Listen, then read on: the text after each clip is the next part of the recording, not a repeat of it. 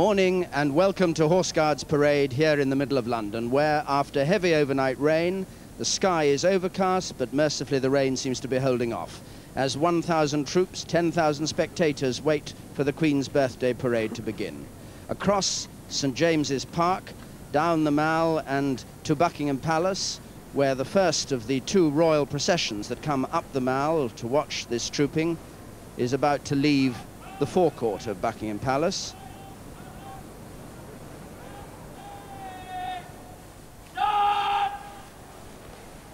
The Queen Mother in the barouche, driven on the left there by Alfie Oates as the Royal Salute sounds.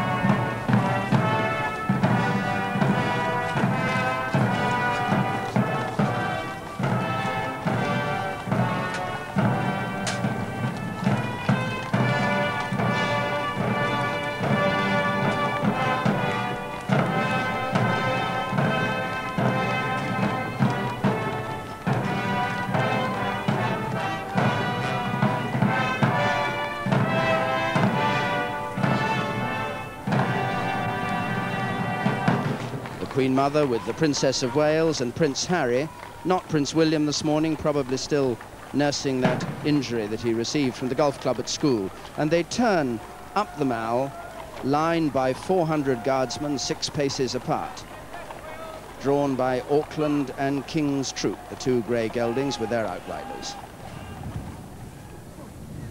And here, on horse guards, already assembled the famous L shape of the guardsmen in bearskins and scarlet tunics in guard order of the household division. And in command of the parade, the field officer in brigade waiting for today, Lieutenant Colonel Gerald Lazinski, riding Launceston, the commanding officer of the 2nd Battalion of the Grenadiers, the son of Polish immigrants who rose through the ranks to command his battalion.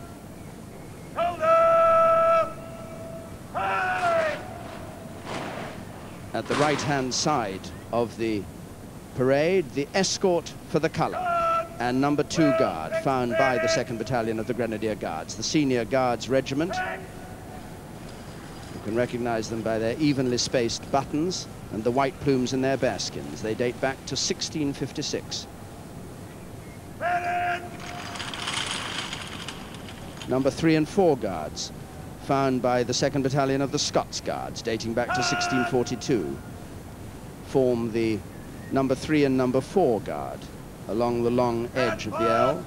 Their buttons in threes, a thistle as a collar badge, no plumes because they're traditionally in the center of the line.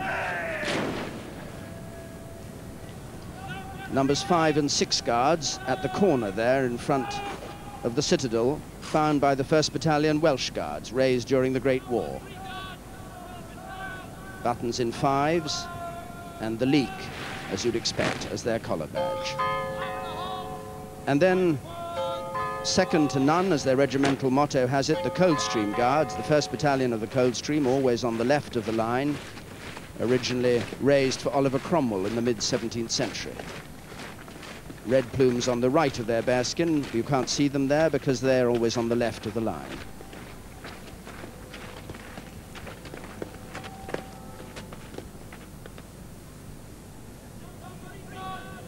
And in front of number seven and eight guards, the three-man colour party with the Queen's colour of the 2nd Battalion of the Grenadiers, the sergeant escort for the colour, Sergeant Simmons there standing at attention, with a guardsman left and right. And that's the colour that will be trooped here this morning.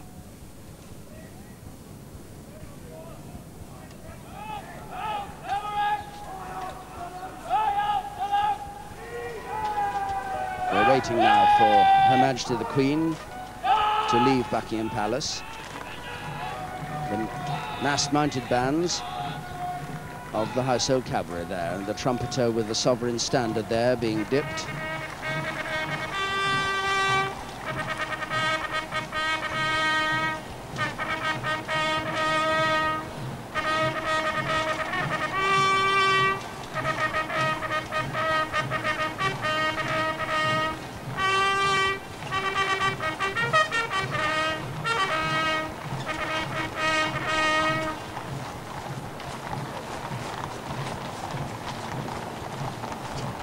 Majesty the Queen, 65 earlier this year in the elegant ivory-mounted phaeton made for Queen Victoria. In a moment, the national anthem will play as she passes the mounted bands of the Household Cavalry.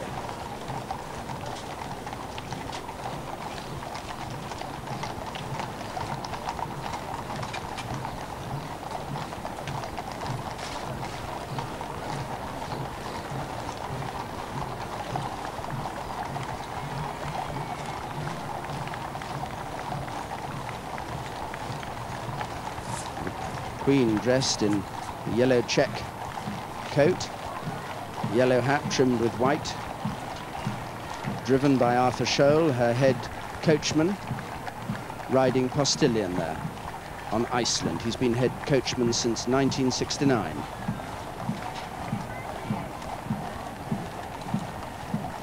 They come round the Victoria Memorial, following the route that the Queen Mother took a moment ago.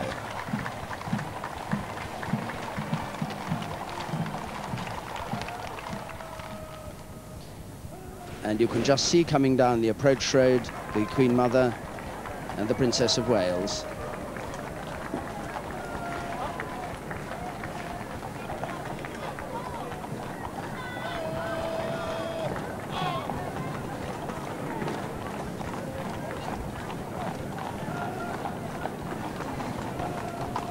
The Queen Mother who had her 90th birthday parade here on Horse Guards last year.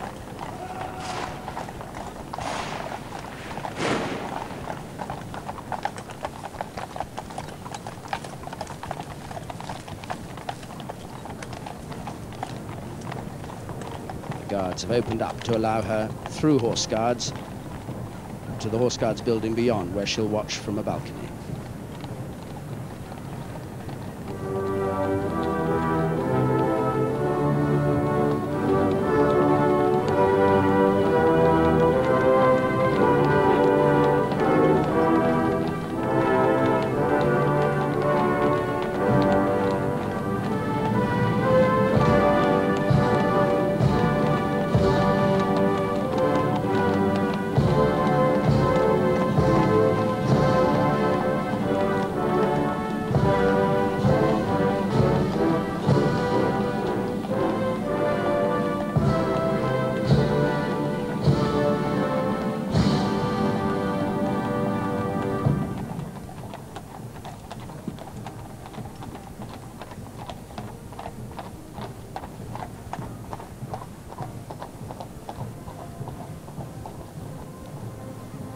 Mother goes through under the archway. I said it was her 90th birthday last year. This year, the Duke of Edinburgh celebrates his 70th birthday.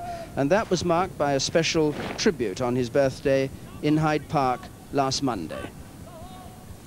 A travelling escort of household cavalry escorted the Duke as he drove through Hyde Park with Her Majesty the Duchess of Edinburgh to watch the 41-gun salute being fired for his 70th birthday the King's troop with 60 massive, six massive guns, which was to give a royal salute before an invited audience of present and past gunners, many of them now famous in other roles. The master gunner, General Sir Martin Farndale, was the host for this birthday salute.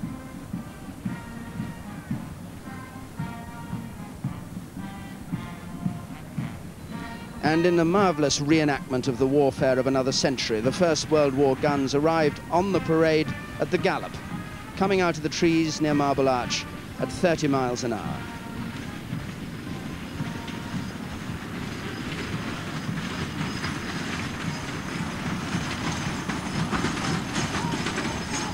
These guns and limber weigh one and a half hundredweight, but they're brought to a halt not with brakes, but simply by the powerful wheel horses, the ones at the back. You can see them with their haunches stopping those great carriages.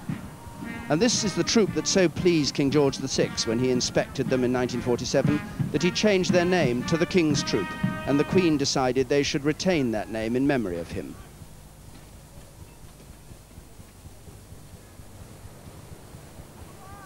Under the command of Major Charles Lane. 41 13-pounder shells roared over Hyde Park, 21 for the Duke's birthday, and another 20 because the guns were firing in a royal park.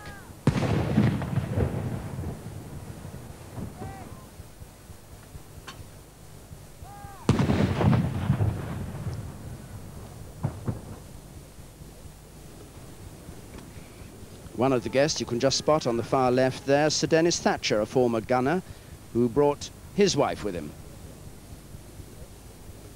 And because this was a special 70th birthday parade, the King's Troop didn't gallop out of action as they usually do after firing the salute, but march past the dais to the commanding officer's order, walk march and carry swords.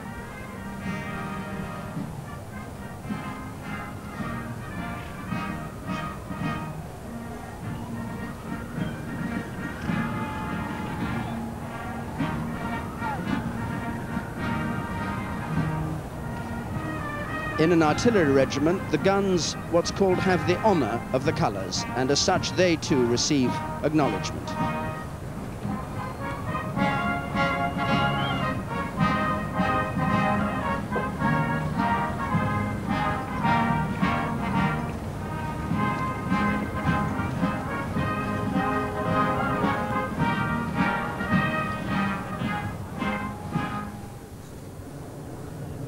And a week ago today, the Duke, as Colonel of the Grenadier Guards, had reviewed the final rehearsal for this morning's trooping. This is Saturday's, last Saturday's parade that we're seeing.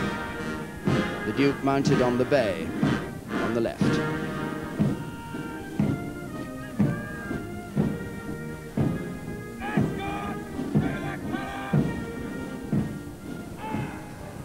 And back here this morning, the Queen in the ivory-mounted phaeton coming out the uh, uh, along the Mall with the royal colonels, the four royal colonels behind her, the Duke of Edinburgh, the Prince of Wales, the Duke of Kent, and the Grand Duke of Luxembourg.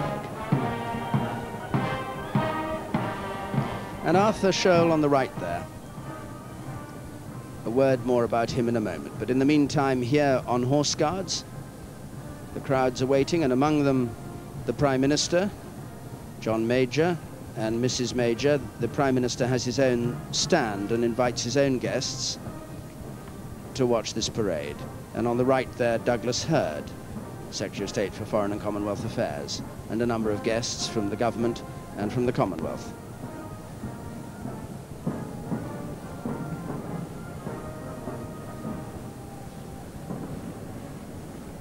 There are many retired soldiers, there are military attaches, members of foreign embassies here,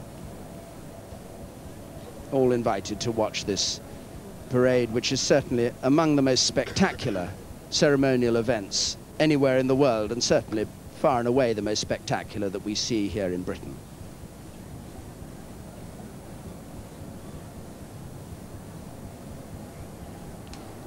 Leading the Queen's Parade, the Brigade Major, Lieutenant Colonel Lomer of the Coldstream Guards, riding Santana, who's responsible for the overall supervision of the parade, though he's not in command of it on Horse Guards. But he's been watching closely during these rehearsals. Behind him, the mass-mounted bands of the Household Cavalry.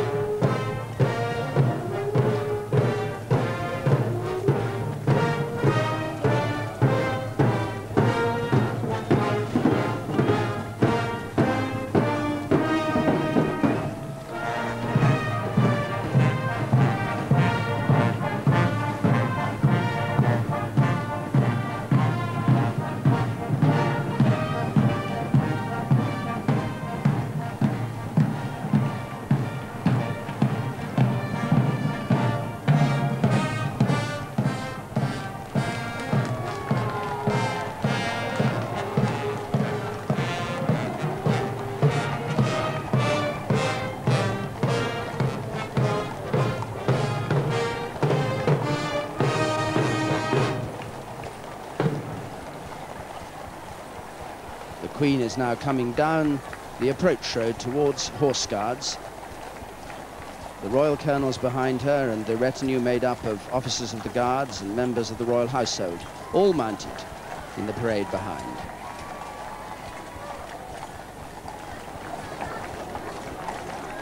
Arthur Showell with the white wig in full dress uniform. This is his last trooping and perhaps when this is over it'll give him chance to go back to his beloved Jersey in the Channel Islands where he comes from. He's driven the Queen since 1969.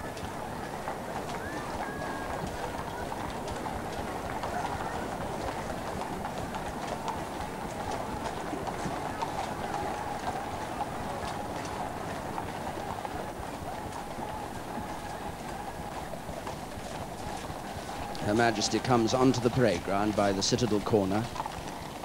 The 40th time this will be that she's taken the salute at the birthday parade, wearing the brooch given her by the officers of the Grenadier Guards.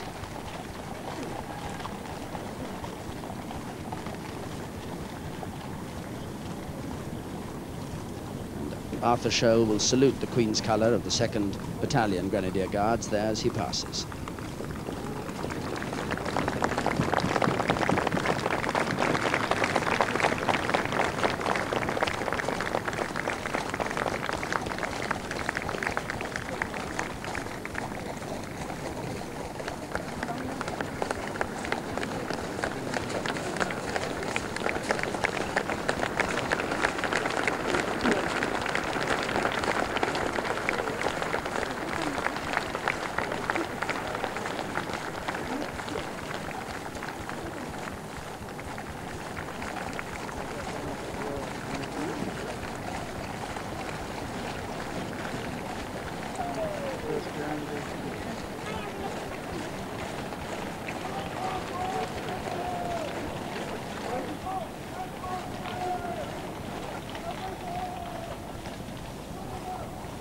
The Queen Mother at the window of the Duke of Wellington's old office on Horse Guards. Peter Phillips, her grandson, beside him, and the dais here specially made for the Queen from an oak that fell in Windsor Great Park. The Queen alights from the phaeton, goes onto the dais for the first royal salute, present arms from the field officer in brigade waiting.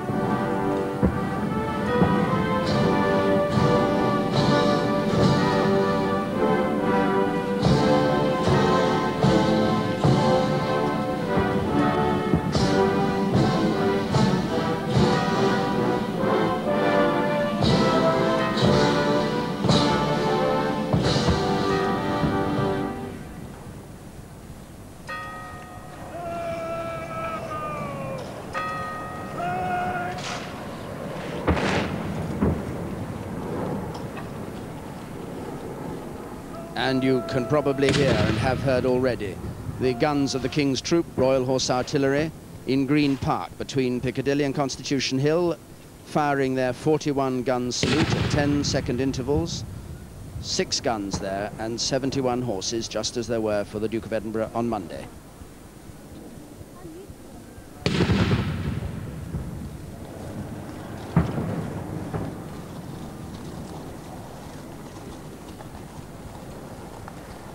Queen is now back in her phaeton and ready for the inspection of the line.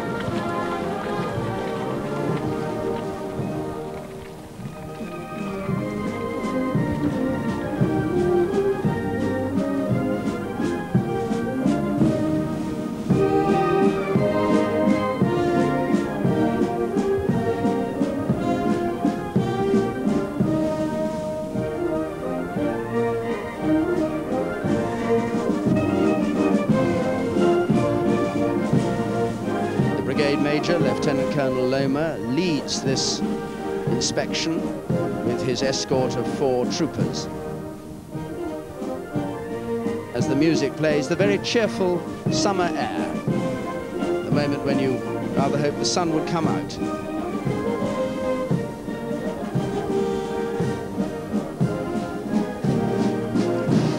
Everybody on this parade ground knows that this is not a formality, this inspection by the Queen. She has a very keen eye for the turnout of the troops and a practiced eye too now after doing this for many years. And uh, if she doesn't like what she sees, is inclined to say so later. So everybody, after all the rehearsals they've done, are today absolutely at their best, keeping still as the Queen goes past. Coming now to the 2nd Battalion of the Grenadiers will be trooping their colour and moving on down towards the Scots Guards and then the Welsh at the corner.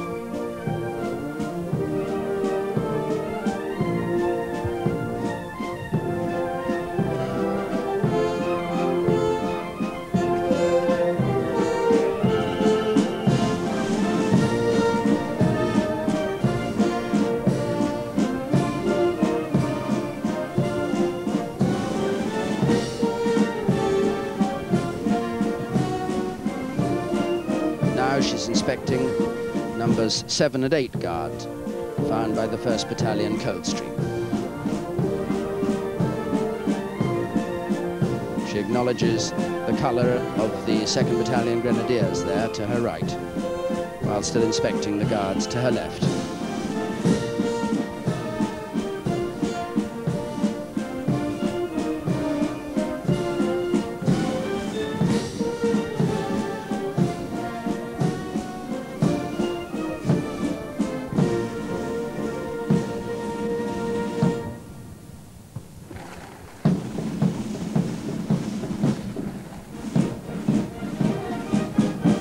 Music changes to Inkerman Company, the name of a company of the 2nd Battalion Grenadiers, about which a bit more later on, as the Queen's procession turns round. And behind the Queen, the Duke of Edinburgh, Colonel of the Grenadiers, and the Prince of Wales, Colonel of the Welsh Guards. In the centre, the Duke of Kent, the Scots Guards, and the Grand Duke of Luxembourg, Colonel of the Irish Guards.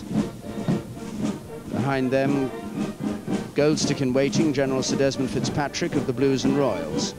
And then the three Royal Equerries, Lieutenant Colonel Seymour Gilbert Denham, John Johnson, and Malcolm Ross, the colonels of the regiment, Sir George Burns, Colonel of the Coldstream Guards. And then in the cockaded hat there, the Major General commanding the Household Division, Major General Simon Cooper.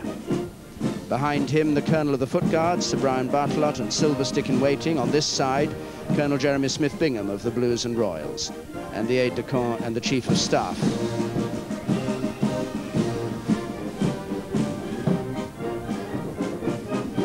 Pass round behind the back of the parade to come to the sovereign's escort of the household cavalry.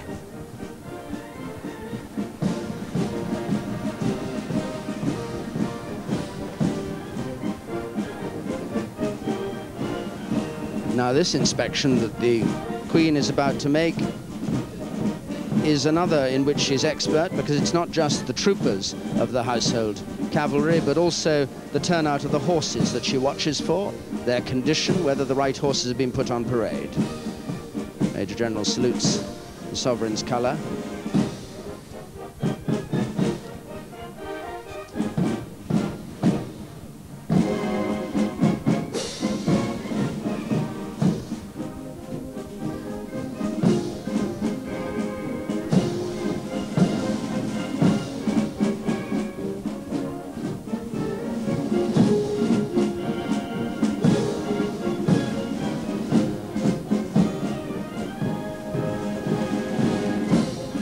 Every year, the Queen presents the Princess Elizabeth Cup for the best turned out trooper of the Household Cavalry, a cup that's been given ever since 1949. And one of the finalists is on parade here today.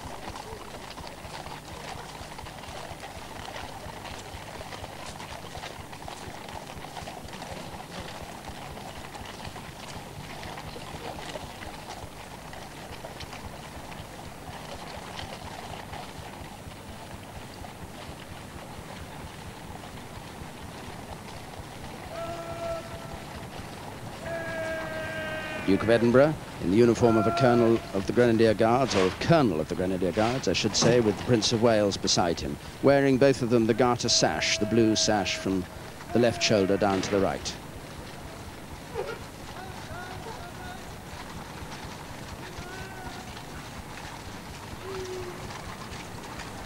Major General Simon Cooper commanding the Household Division and riding Fox Hunter in the plumed hat. He was commissioned into the Life Guards in 1956 and has seen much active service, been in this job since 1989.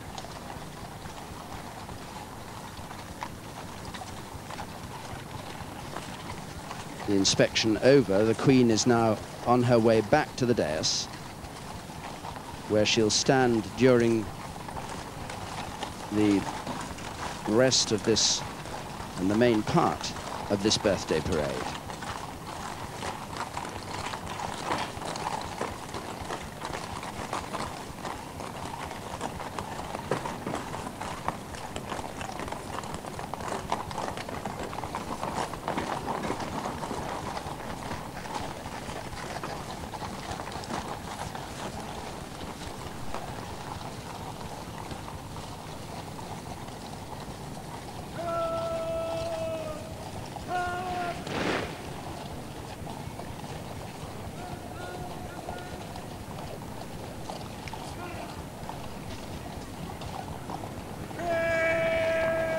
Mass bands will now troop, first in slow and then in quick time. First, the guards change arms, as they do regularly through this parade, to ease the strain of holding these heavy SA-80 rifles.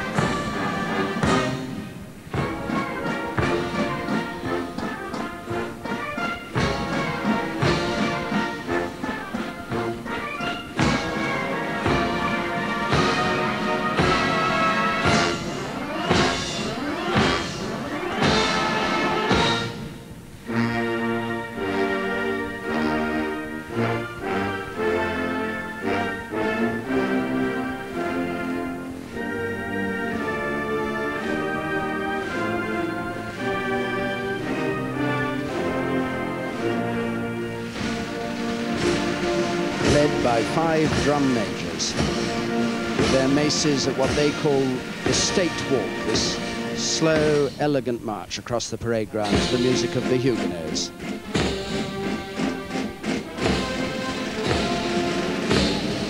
Senior drum major Ward in the middle with his hand up who actually gives the instructions for them when to halt and when to turn. And after the slow march, they countermarch just before they reach the colour. You watch, you'll see one of the trombones in the middle go up in the air, and that's the signal for the countermarch to begin.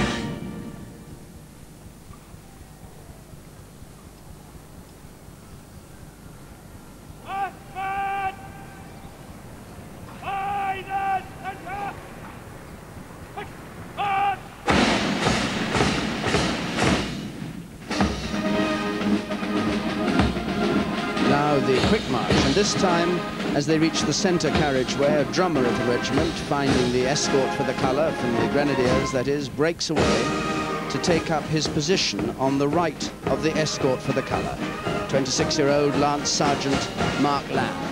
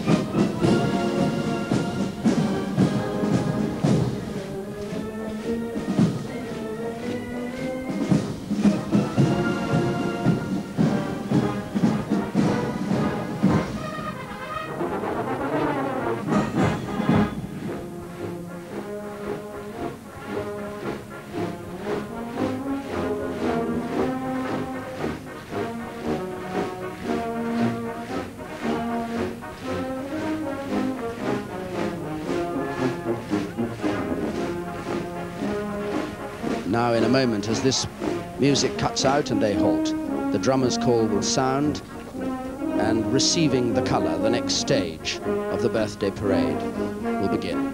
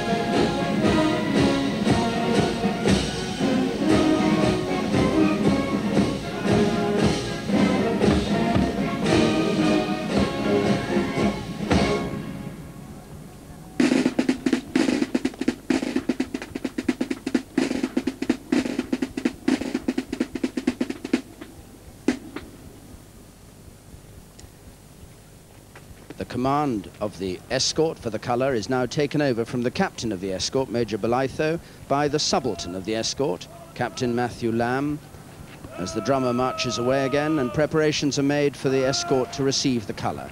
An orderly takes from Regimental Sergeant Major Kevin Fairchild his pace stick used for measuring distances so that Regimental Sergeant Major can draw his sword and have it in hand when he receives the colour on the other side of the parade ground.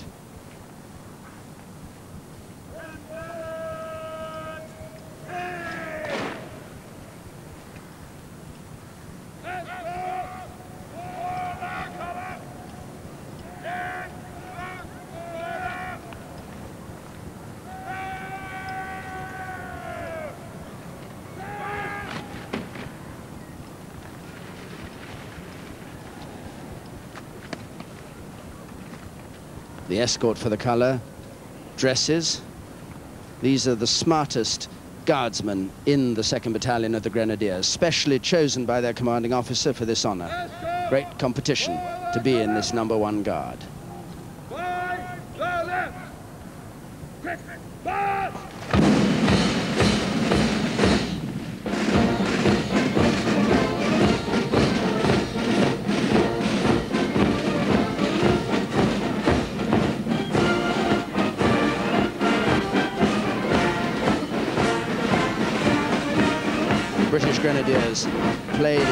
Not incidentally because they are the 2nd Battalion Grenadiers, though indeed they are, but because it's always played for the right-hand end of the regimental line, where the Grenadiers, whatever the Guards fighting, always were.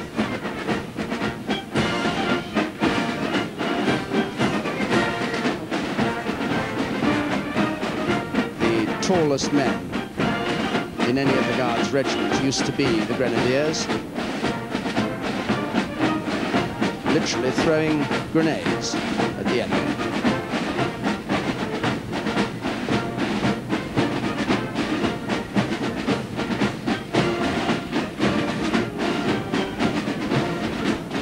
They're waiting there now for the mass bands to clear their line of march across to the colour party.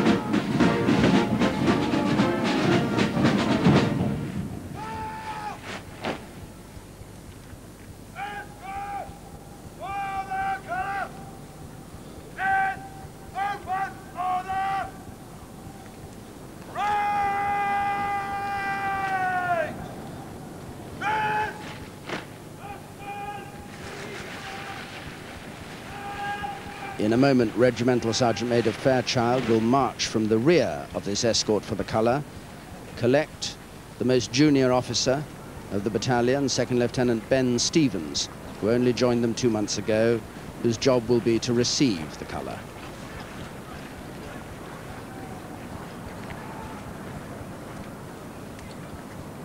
First, Colonel Leszynski will bring the guards to attention and change and slope arms.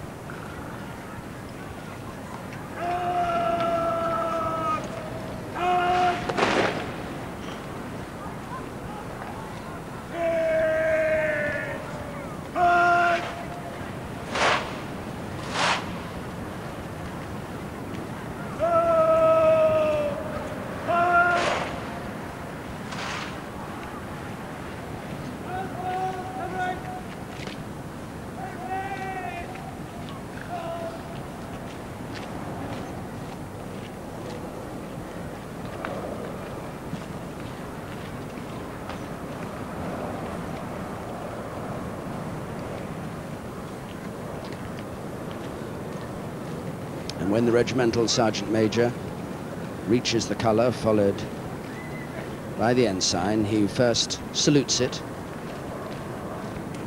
before taking it and carrying it to the ensign and putting it in his colour belt.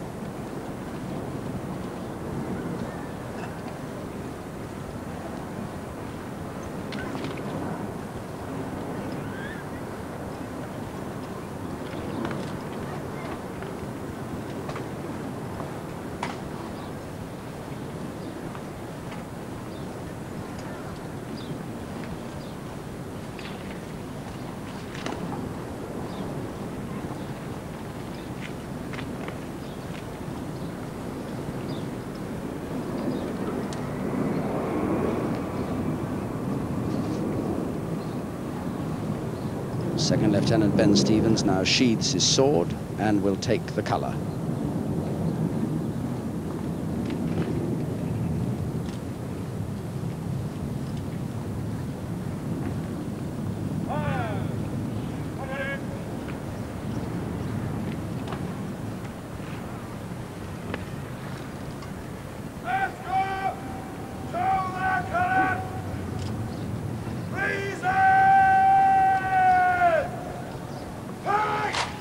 Escort presents arms, the flanks turning outwards with their arms at the high port as the national anthem plays.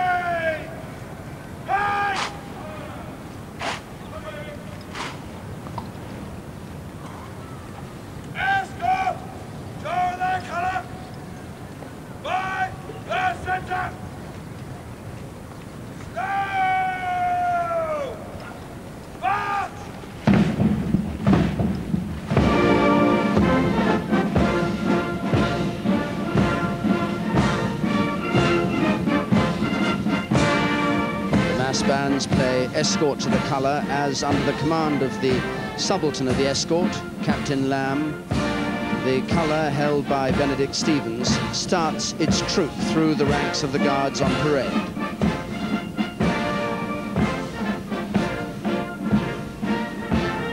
The mass bands carry out the first of their complex spin wheels designed to allow them to turn in a very small space one half of the band going one way one half going the other way until half are facing away from us and half towards us. They then turn round and miraculously all the trombones are back in the front.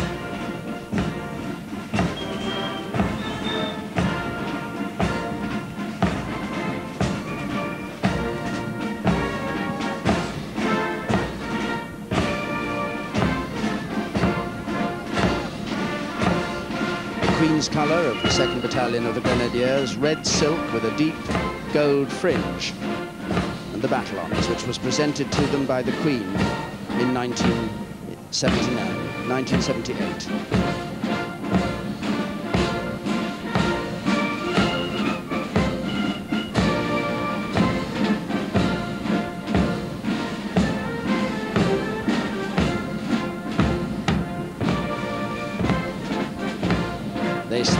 Troop with number eight guard. They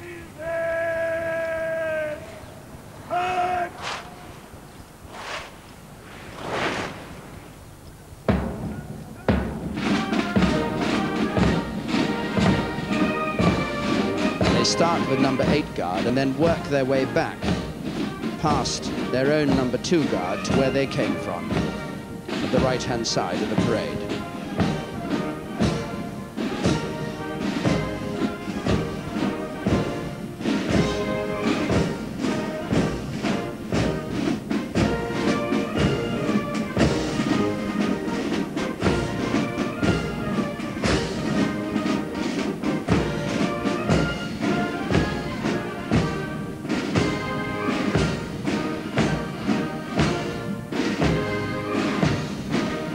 Officer in brigade waiting on Launceston pulls his horse backwards gently down the central carriageway as the bands pass him. And as with much of what we see here today, this trooping the colour has its origin in military order and discipline. The colours were a rallying point in battle and it was important that everybody could recognize them in the smoke and the dust and the confusion. That's why their troop passed the ranks, and not just on the eve of battle, but at the end of every day's march, before they were lodged in the battalion headquarters for the night, so that everybody in the guards who were engaged in action knew where the battalion headquarters were and knew where the rallying point in emergency would be. As they troop their colour with these battle honours, 44 of the 76 honorary distinctions awarded to the 2nd Battalion, or to the Grenadiers as a whole, the men of this 2nd Battalion know that all eyes are on them, that in this act they're once again honouring the traditions of their regiment and the bonds that link them with the soldiers of the past and with the traditions that they cherish. Tradition is very powerful to the Guards regiments.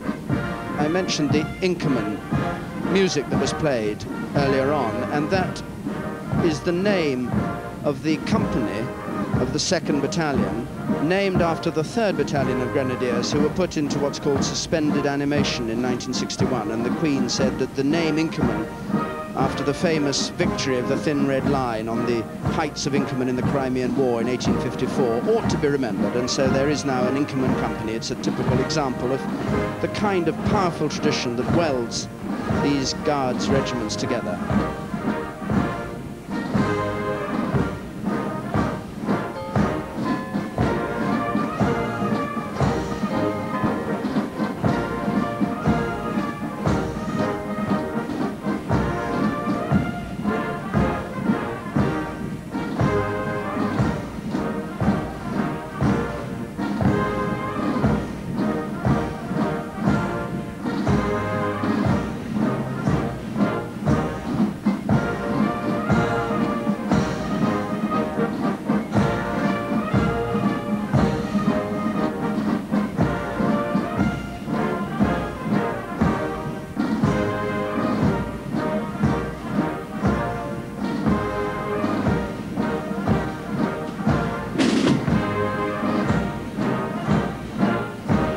Colour on the right, the escort to the colour, coming now to their own number two guard found by the 2nd Battalion of the Grenadiers, and in a moment they will reach home.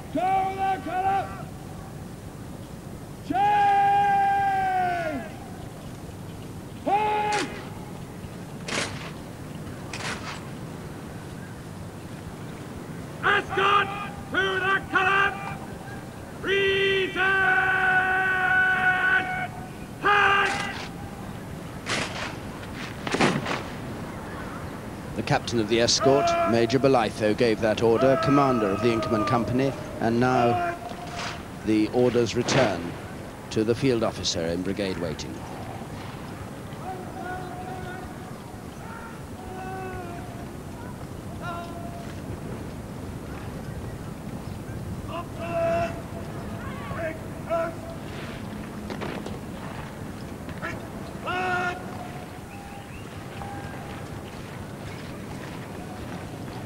The officers of the guards now take post, that is to say they get in the position that they have to be in for their own march past, which is about to begin.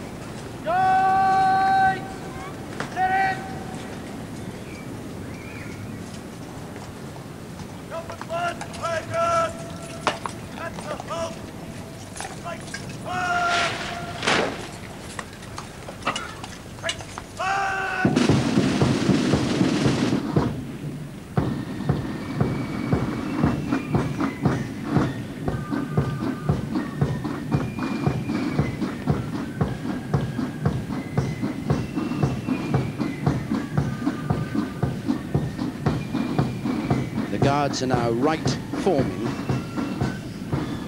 getting into position for the march past.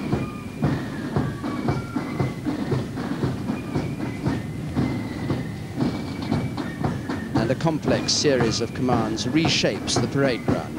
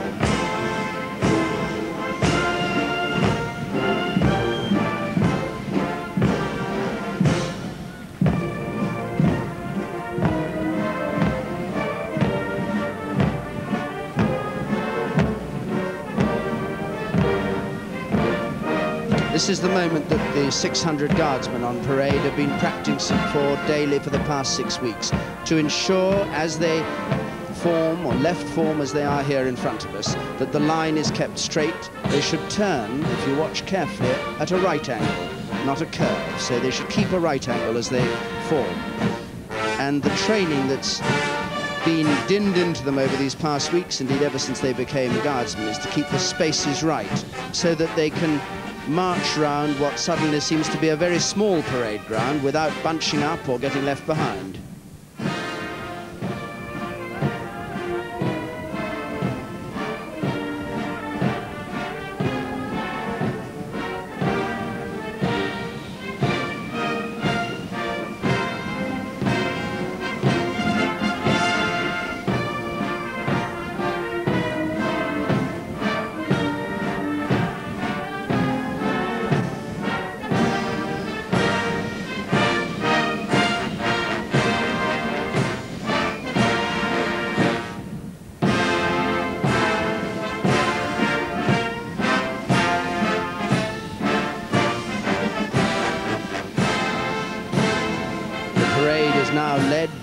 Field officer on Launceston, and behind him the major of the parade, Major Sir Harvey Bruce on Fieldmaster.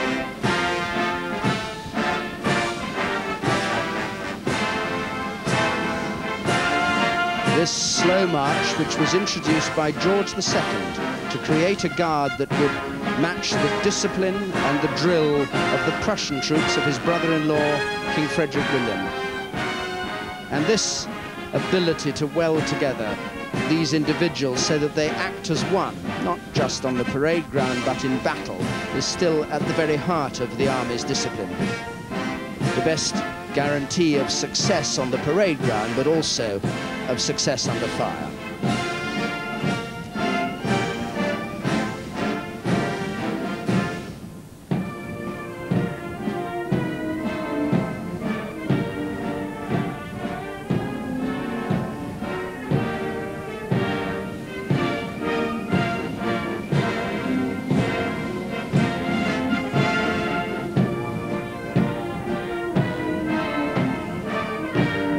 Is now moved across the front of the escort to take the lead position as they march past the Queen.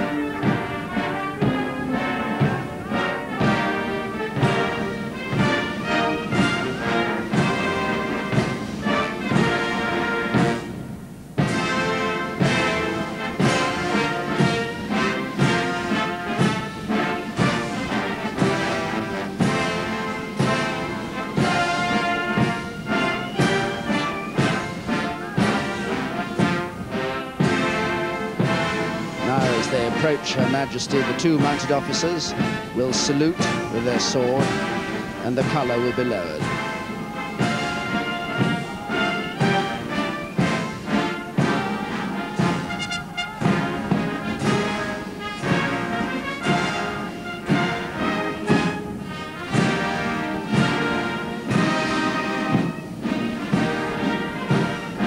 colour with the Union flag at the top corner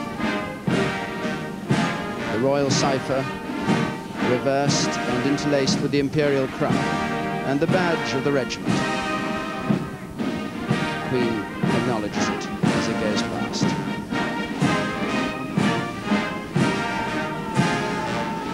the very bottom, a grenade fired proper. The Queen's colour of the 2nd Battalion of the Grenadiers. Battle honours among the 44 listed there, Tangier in 14, in 1680, and Blenheim and Malplaquet and Corunna and Waterloo and Inkerman and Ypres and the Somme and Dunkirk and Salerno and Anzio, ending with the Rhine in 1945.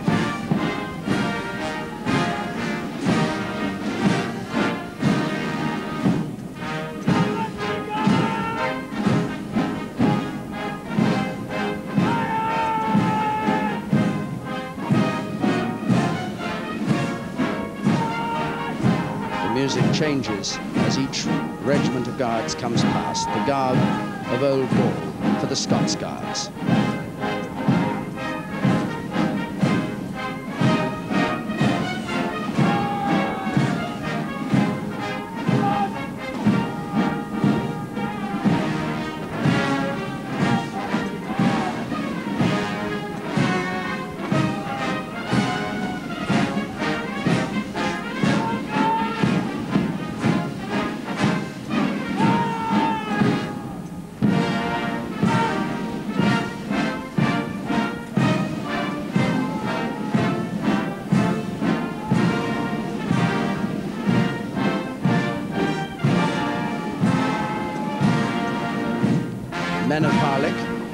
Numbers 5 and 6 Guards found by the 1st Battalion Welsh Guards.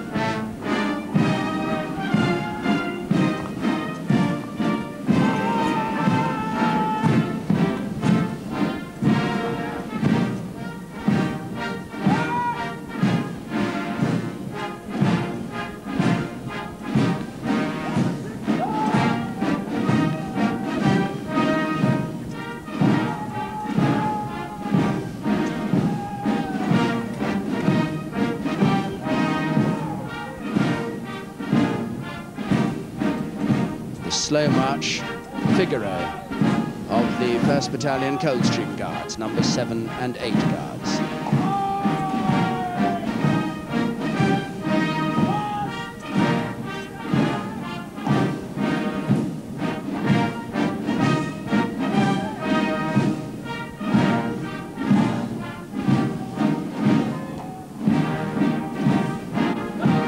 Bringing up the rear, the adjutant of the parade, Captain George Norton riding Inquest.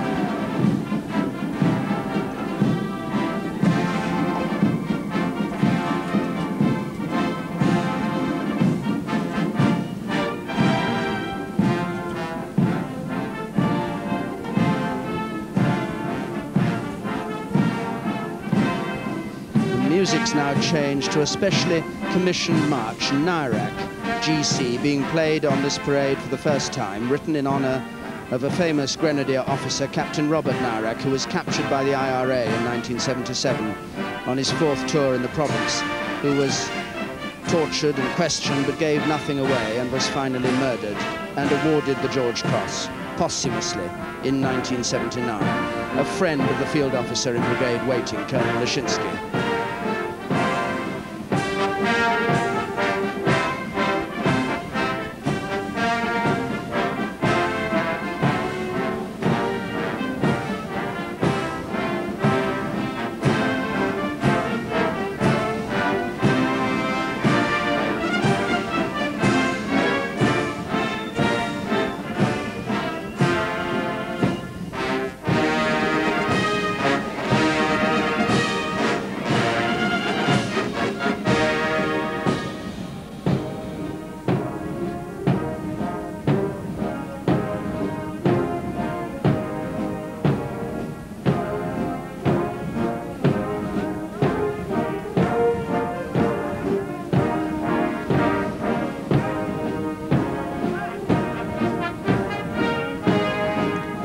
Leshinsky there in command of this parade, whose career is proof you don't have to come from an old English family or be educated at Eton and Oxford to command a Guards regiment. He's the son of a Polish immigrant.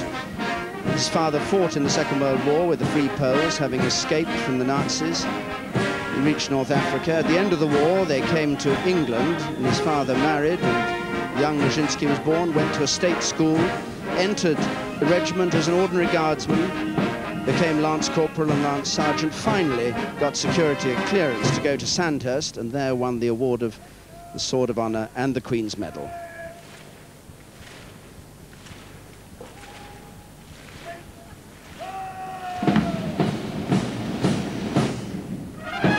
He took over command of the battalion just last October, which he joined as a guardsman 22 years before.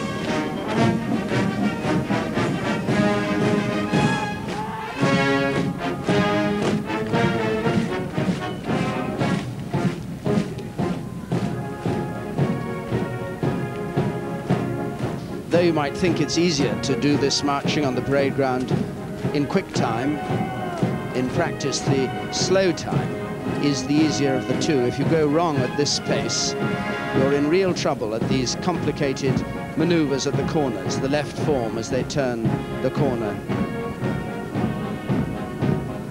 With orders being given right through the ranks all the time, checking the line, you can't hear them, but they talk to each other and the sergeants and the gold sergeants keep people in line and keep the time going. And at moments tell the captain of the guard in front with the sword when he's clear to go ahead. The success of this parade being that every guardsman knows exactly what he's got to do next and knows what part of the parade he's reached and concentrates.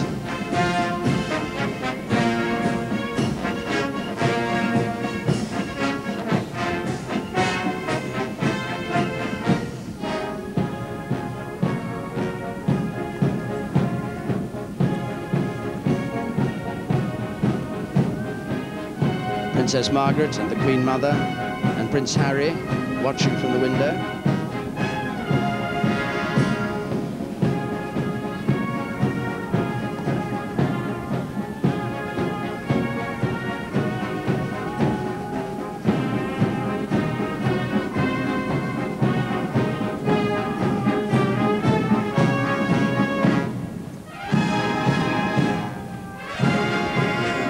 Once again, the field officer, eyes right, as he passes the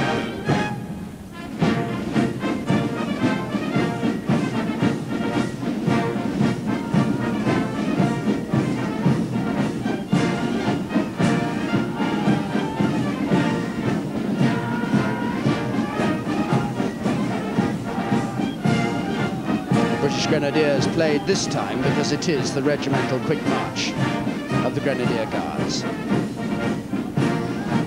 This time at the quick march, the Queen's colour held vertical as it passes.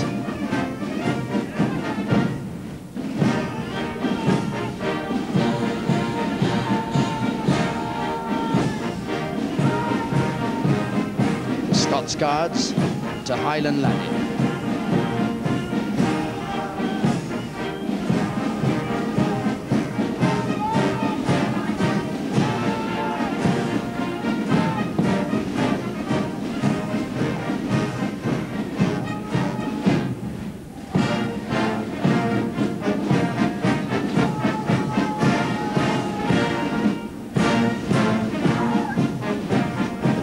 Battalion Welsh Guards to the rising of the lark.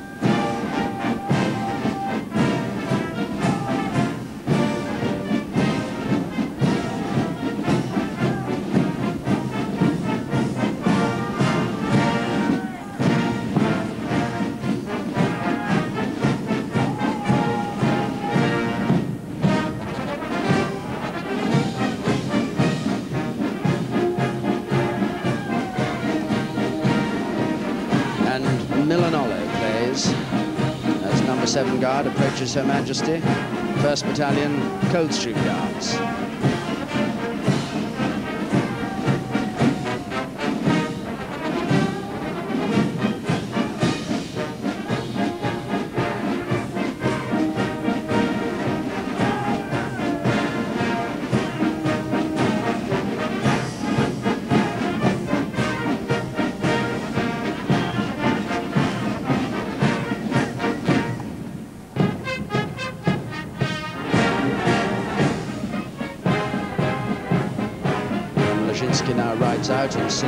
Majesty.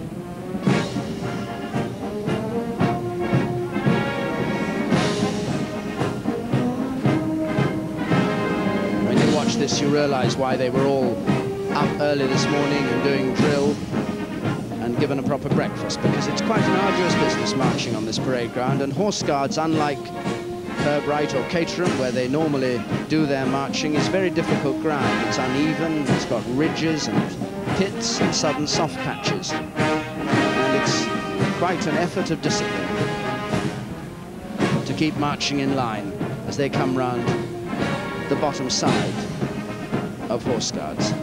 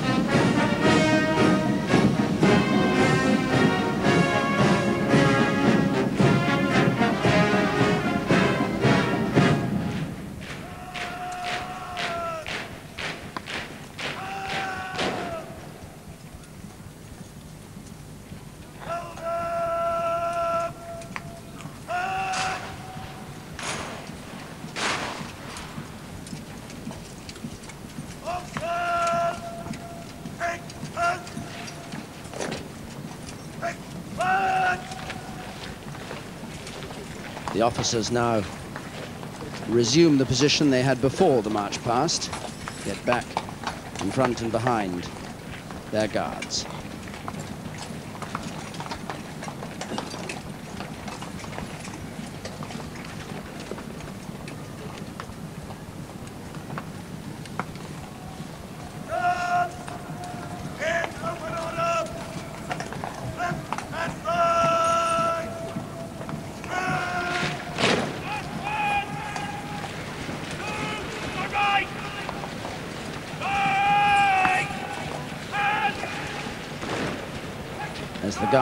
left and right dress. The senior drum major gives the order for the mass bands to march off the centre of the parade ground because in a moment it'll be the turn of the household cavalry to come onto the parade ground from the west side where they've been standing patiently for the last hour and themselves to march past at the walk and then at the trot.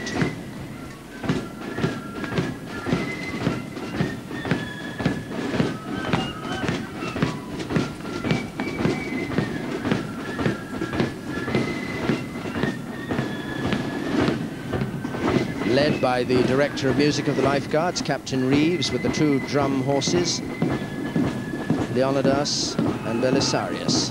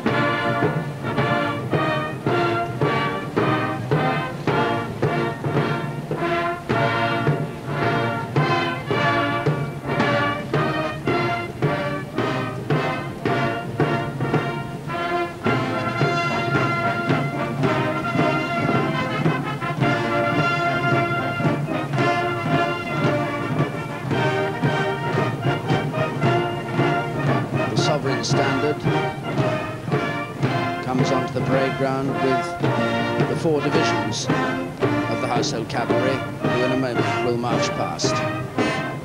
The trumpeter on this side, the coverer on the far side of the Life Guards.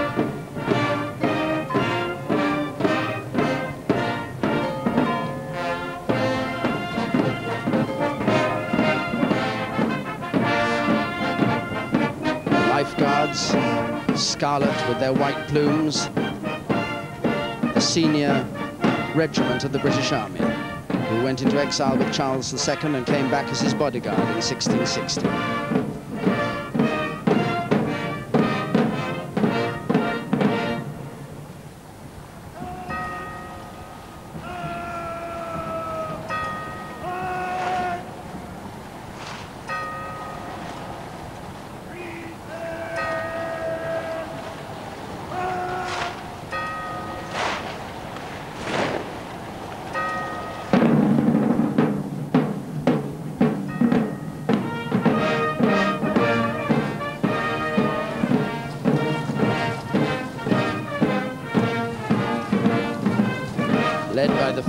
Officer of the escort, Major Miles Watson of the Lifeguards, to the slow march of the Lifeguards. The Sovereign's escort starts the march past, with two divisions of the Lifeguards to be followed by two divisions of the Horse Guards.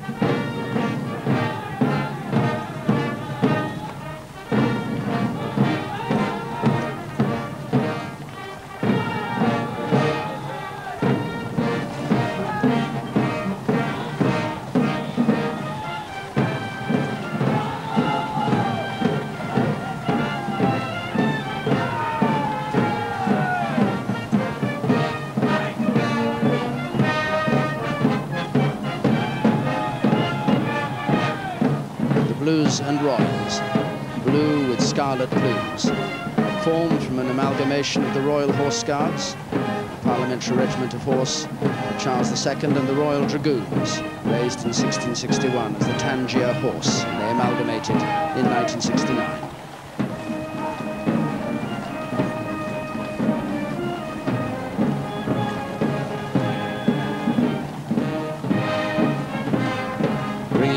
The the farriers with their axes, used for dispatching wounded horses and severing their feet to keep the number on it. In wartime, the black plume, the only black plume on parade of the Lifeguards farrier.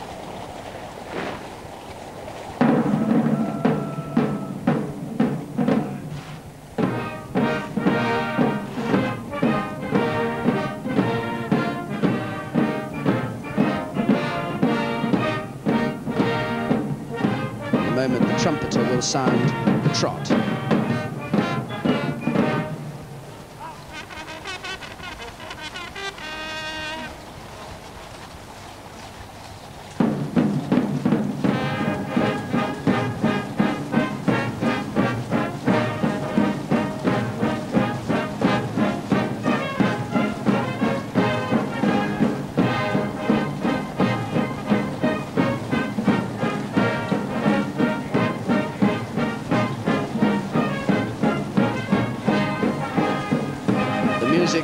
Christchurch bells, as they come along the west side of the parade ground again.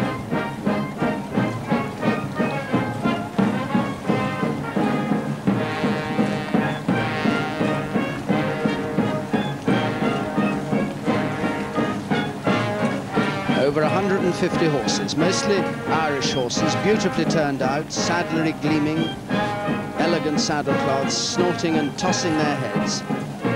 For many people, this moment is the climax of the Queen's birthday parade. The music will change in a moment to the lovely sounds of the keel row.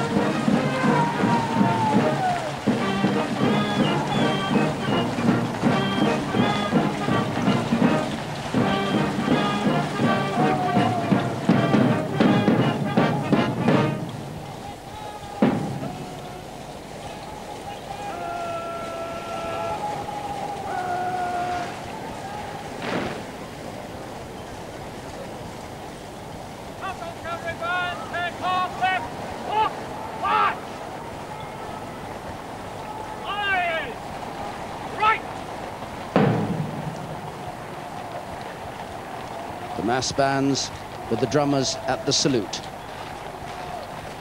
On the left, the blue roan Belisarius. On the right, the brown and white piebald Leonidas of the lifeguards.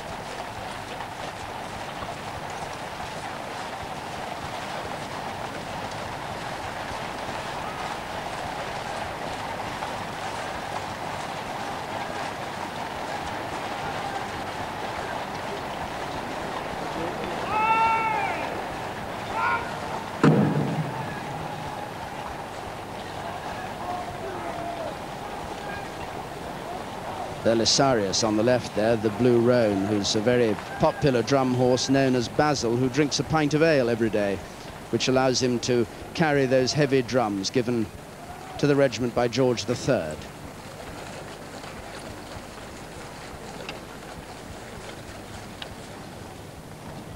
And Leonidas, the other drum horse of the Lifeguards, carrying drums given by William IV musician Bulstrode on the far side, Corporal of Horse Connaughton on this side. Perhaps the most glamorous of all the jobs here, not the most difficult, that belongs to the field officer in brigade waiting.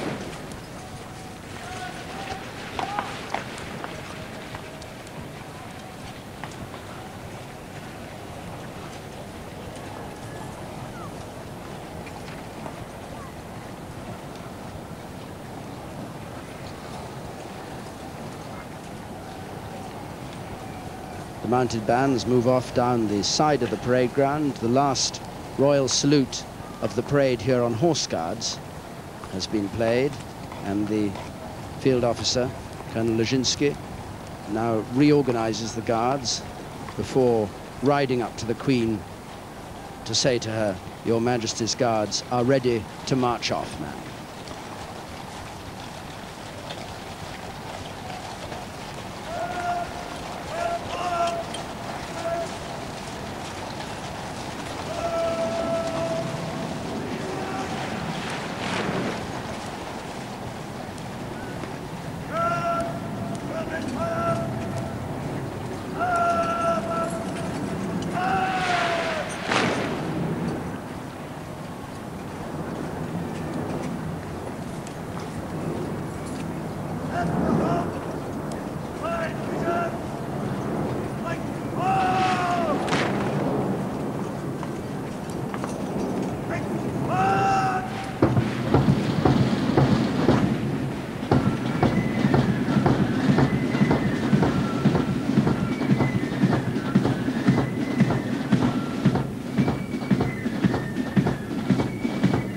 music Hanover Girl. The Guards form themselves into their eight divisions under the watchful eye there of the Duke of Edinburgh and the Prince of Wales.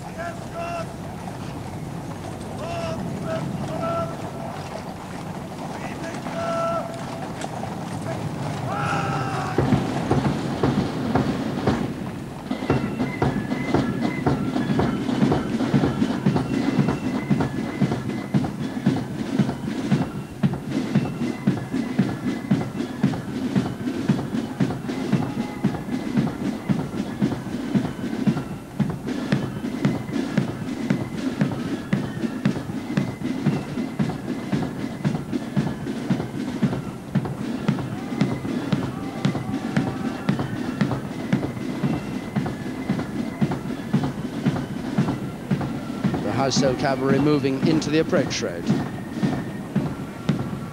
for the procession that will go back from here down to Buckingham Palace as the Queen leads her guards down there for another march past at the bottom of the Mall. The foot guards, in the meantime, forming up in their eight divisions again.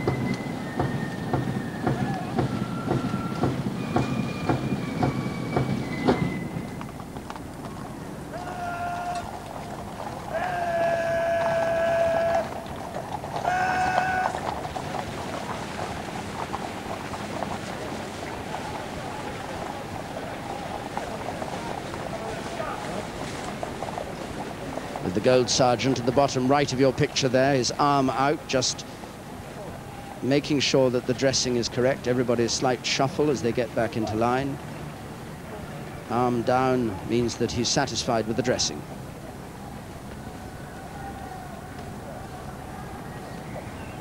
The Queen Mother already on her way back from the parade, going down the Mall.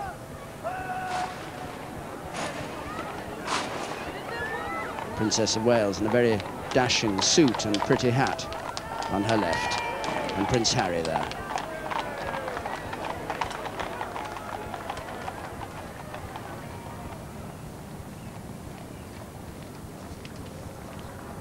At the trot, the field officer in brigade waiting, Colonel Lazinski, rides up to Her Majesty the Queen and will report that the guards are ready to march off.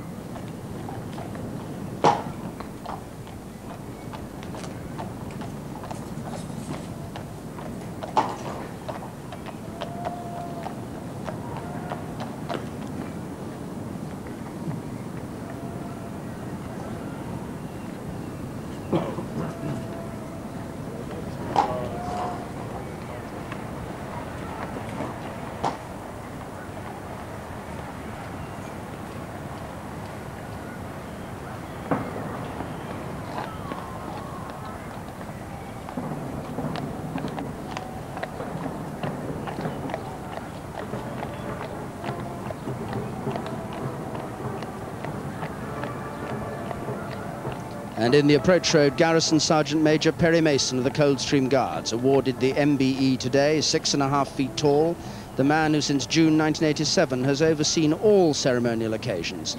An unobtrusive role he has on the day itself, but in the preparation, he's the voice the officers and the men all listen to if they want to know how these things should be properly done.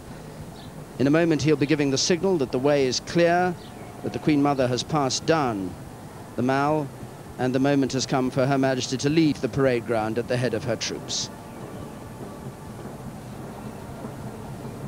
Arthur Showell brings the Queen's barouche back onto the parade ground to the dais,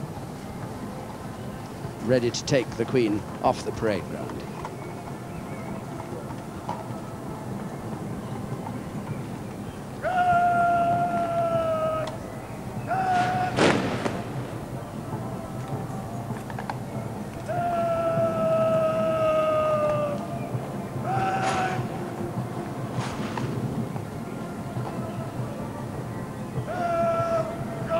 Garrison Sergeant Major keeping a watchful eye from the approach road.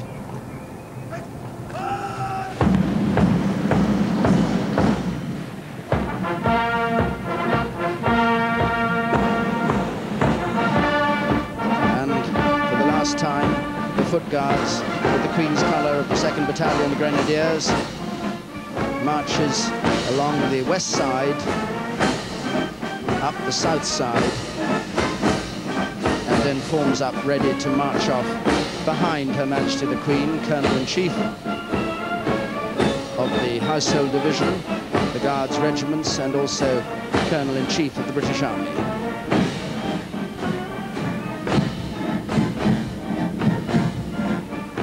The bands wheel into position to lead her down the Mall. They've played so well this morning. They are vital to a parade like this because if they play with spirit and keep time, everybody can keep time with them. And if they don't, all havoc can be wreaked. Majesty looking pleased with the way that this morning's birthday parade for her has gone.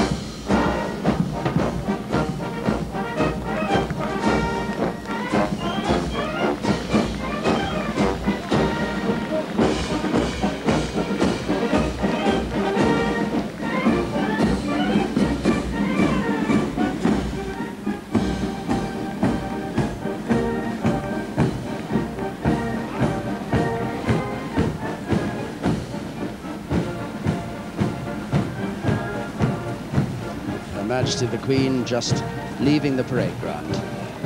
She has the field officer in brigade waiting, who commanded this parade, riding behind her with Prince Philip, the Duke of Edinburgh, on the right there.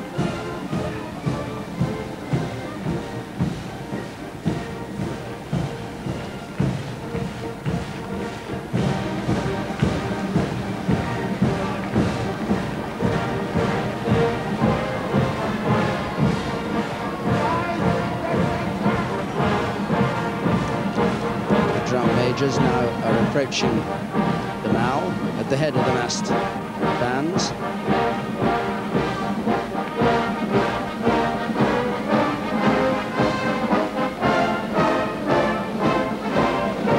Quite a large crowd on this rather damp morning under the trees of St James's Park there as the bands turn round into the Mall. And the parade is not over, though the parting Horse Guards is. There's going to be a further march past the Queen First, the King's Troop of the Royal Horse Artillery, who fired the Royal Salute. Then the Foot Guards, the Sovereign's Escort, and the mass-mounted bands. And finally, later, a salute from the Royal Air Force, which no doubt Her Majesty and members of the royal family will watch from the balcony. But the parade here on Horse Guards is over for another year.